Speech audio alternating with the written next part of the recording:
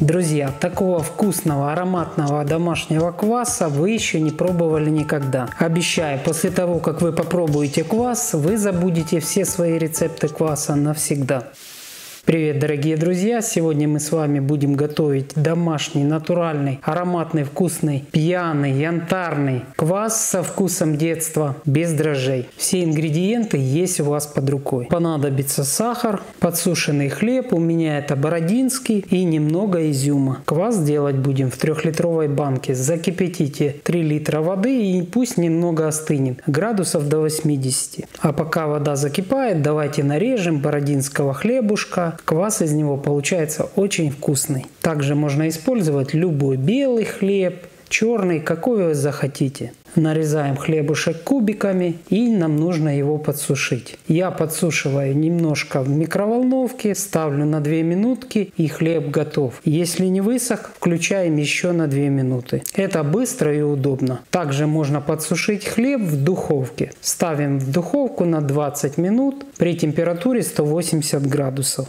Следите за тем, чтобы хлебушек не сильно подгорел, так как квас будет горчить. Кладем в бутылек 120 грамм сахара или 4 столовых ложки. Заливаем немного воды и размешиваем сахар до полного растворения. Далее в ход идут сухарики 300 грамм.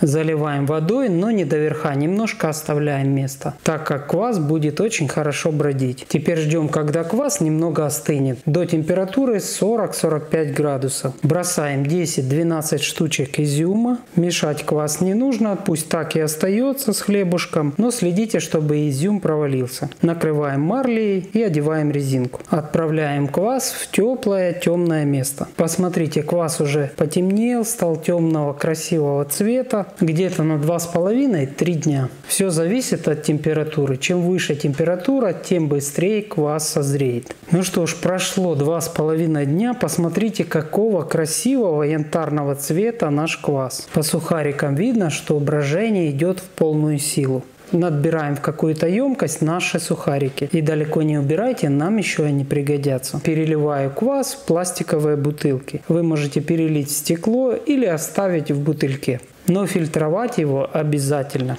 Я буду переливать с помощью лейки, кладу марлю и потихоньку идет процесс. Посмотрите, какой красивый квас янтарного цвета. Это просто сказка. А запах, Кладем в бутылку 3-4 штучки изюма. Закручиваем бутылку и отправляем в холодильник на сутки. Чем больше квас будет стоять в холодильнике, тем более он будет газированный и такой ядреный. Я бы даже назвал его пьяный квас. У нас осталось в бутыльке немного осадка. Кладем нашу закваску, оставшийся хлебушек. У меня есть немного белых сухарей черных, 2 ложки сахара и заливаем кипяченой водой. Одеваем марлю и резинку. С той закваски у меня получилось еще два бутылька. Друзья, поделюсь еще одним рецептом кваса. Сделайте все то же самое, что мы делали с вами. И добавьте одну чайную ложку сухих дрожжей. Получится немножко другой вкус и другой квас. И какой квас вам понравился больше, обязательно напишите в комментариях. Мне будет очень интересно. И так можно делать еще несколько раз. Сутки прошли. Ароматный, вкусный, домашний, натуральный, газированный, пьяный Пьяный квас готов. Угостите этим чудо-напитком своих друзей и знакомых, и они будут умолять и просить поделиться этим рецептом. Вкус этого кваса получается кисло-сладкий. Если вам не хватает сладости, вы можете ложку сахара еще добавить. У каждого свои вкусы и предпочтения. Друзья, попробуйте обязательно сделать такой пьяный квас. Этот ароматный напиток утолит вашу жажду в жаркий день, согреет душу и поднимет настроение. Поделитесь Делитесь этим рецептом с друзьями, близкими, знакомыми. Всем добра, удачи и до новых встреч. Скоро увидимся.